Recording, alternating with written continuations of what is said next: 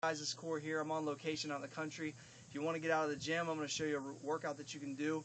Just find a hill somewhere, hit push-ups on each side while you sprint up and down the hill. So check it out. So we'll do like 15 push-ups at the top.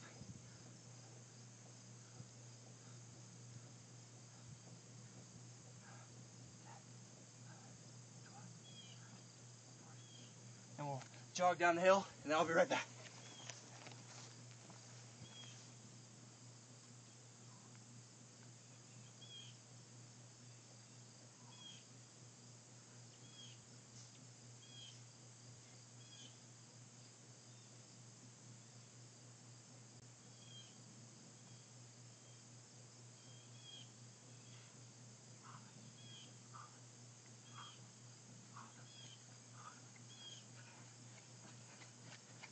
Then one more set of push-ups. Then